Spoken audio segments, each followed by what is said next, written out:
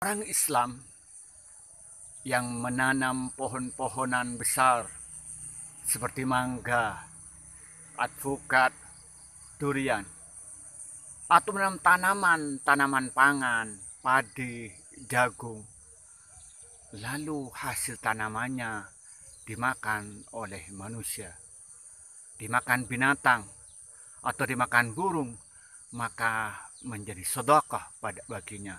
Dia akan mendapatkan pahala dari Allah seperti pahalanya orang yang bersedekah. Dalam sebuah hadis yang riwayatkan Imam Bukhari, Rasulullah bersabda, "Ma min muslimin yaghrisu gharsan aw yasra'u yasra'an fayakulu minhu tayrun aw insanun aw bahimatun illa kana lahu bihi sadaqatun.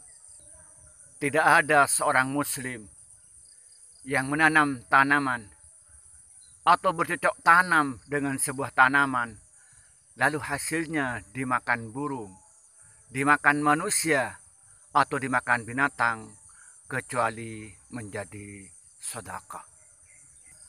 Oleh karena itu, marilah kita giat bekerja bercocok tanam, menanam padi, menanam jagung, menanam kelapa, dan tanaman-tanaman yang lain yang bermanfaat pada orang lain, bermanfaat pada makhluk-makhluk yang lain dengan cara yang benar dan diniatin karena Allah supaya menjadi ibadah dan mendapat pahala dari Allah Subhanahu wa taala.